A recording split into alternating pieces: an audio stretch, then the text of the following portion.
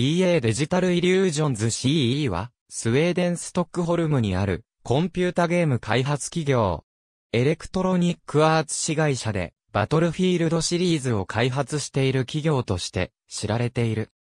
ダイスはもともと1988年にデモメーカーとしてフレデリック・リリエグラント・アンドレアス・オキシルソンがベクショー大学の学生を従業員とし、寮の一室をオフィスにして開業したのが始まりである。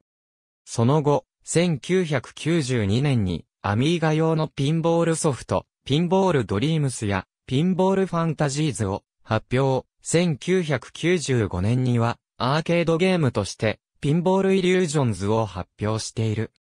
1994年には本社をヨーテボリに移転させ、1998年にはスウェーデンのストックホルム証券取引所に上場している。その翌年の1999年には、バトルフィールドシリーズの原型となる、コードネームイーグルが発売され、カルト的な人気を誇った。2000年には、ゲームスタジオ3社を買収して、拡張を図った。そして2002年には、バトルフィールドシリーズの第一弾として、バトルフィールド1942を開発。内容、拡張パックなどの拡張性から大ヒットを記録し、以降ダイスは急成長を遂げることとなる。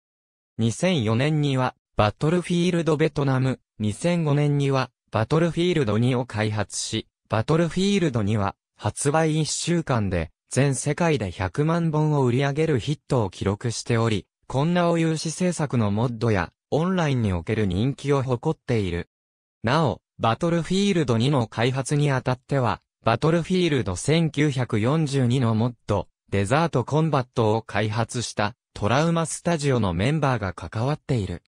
同年11月には、現在の親会社であるエレクトロニックアーツがダイスの買収を開始し、2006年には1億7550フランで買収を完了し、現社名として完全子会社となった。